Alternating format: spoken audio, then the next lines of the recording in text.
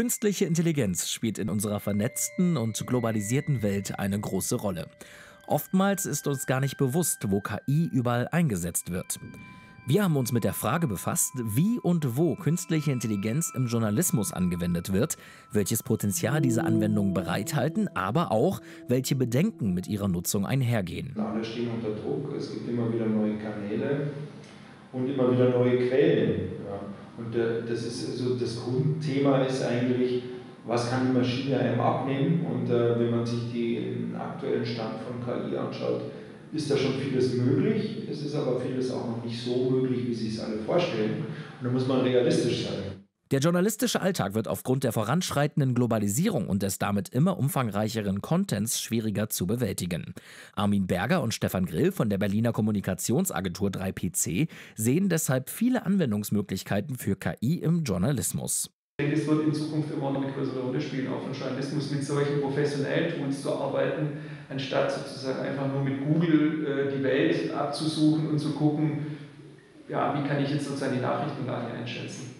Konkret sieht die Medienethikerin Jessica Hesen dieses Potenzial in Anwendungen wie Daten- und Roboterjournalismus. Sogenannter Roboterjournalismus oder automatisierter Journalismus, da spielt KI auch eine Rolle, also für die Textgenerierung. Das sehen wir jetzt ja bereits im, im Bereich der Wirtschaftsberichterstattung, also Börsenberichterstattung, Sportberichterstattung.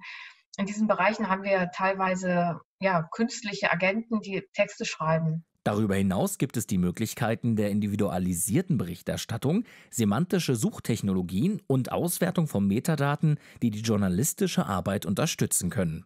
Beispielsweise bei der Aufdeckung von gefälschten Nachrichten. Und die Frage eben der Fake News ist dann eben was, was man eben auch viel automatisieren kann, dass man eben automatisch eben Quellen abgleicht. Da gibt es auch viel Forschung dazu, dass man eben guckt, sind Videos möglicherweise manipuliert, dass man guckt über Metadaten, passt es eigentlich überhaupt, der Ort, der Drehort, ist es überhaupt nachvollziehbar, kann das sein, weil vielleicht möglicherweise oft sind Metadaten da, die die Leute gar nicht wahrnehmen, weil die Kamera das nämlich aufzeigt, dass sie nämlich hier in Berlin steht. Neben diesen Nutzungen bleiben auch kritische Überlegungen, die es in der Anwendung von KI weiterhin zu beachten gibt.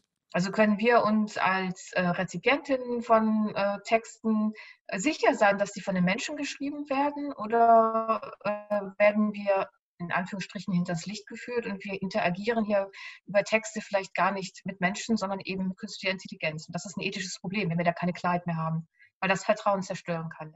Darüber hinaus äußert sich Jessica Hesen zu den Voraussetzungen, die Journalistinnen mitbringen müssen, um mit KI-Anwendungen richtig umgehen zu können. Ich muss lernen können, wie gut, also wie ich künstliche Intelligenz, Suchmaschinen, Algorithmen, wie ich das für meine Arbeit nutzen kann und wo ich das eben nicht nutzen sollte. Das gehört ähm, aus meiner Perspektive zu einer journalistischen Ausbildung dazu. Es bleibt also weiterhin spannend, wie KI im Journalismus angewendet wird.